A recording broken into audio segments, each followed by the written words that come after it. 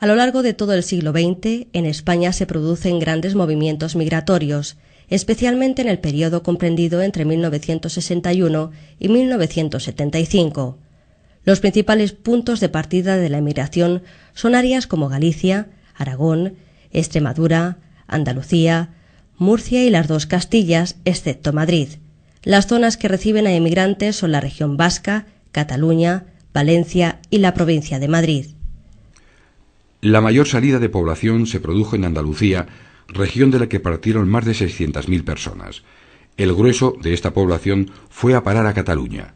Algo menor fue la emigración de las dos Castillas, cuyo mayor aporte demográfico tuvo como destino Madrid.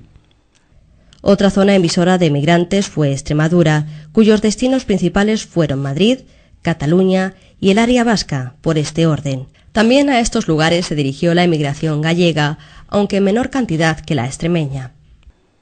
Básicamente, los emigrantes de Aragón y Murcia se dirigen hacia Cataluña y la región valenciana, las dos zonas de desarrollo más próximas.